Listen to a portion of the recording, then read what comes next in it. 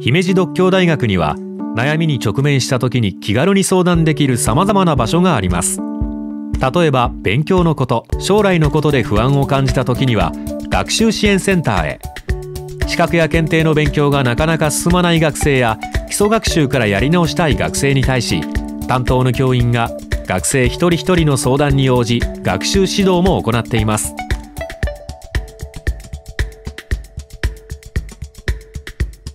下宿先の紹介や奨学金制度の紹介などは学生課へ。学生の皆さんが生活の悩みを解消し勉強に集中できるようにさまざまなサポートを行っています。就職活動をバックアップするのは就職支援のエキスパートキャリアセンター。専門資格を持つキャリアカウンセラーが常駐し学生の相談にマンツーマンで応じるほか希望者には面接練習や履歴書作成などを行っています。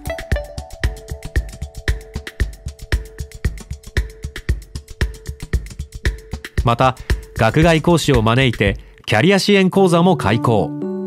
時期に応じたテーマの各種セミナーも開催し公務員講座や TOEIC など資格取得に関する全17講座の中から進路に合わせた講座を受講できます。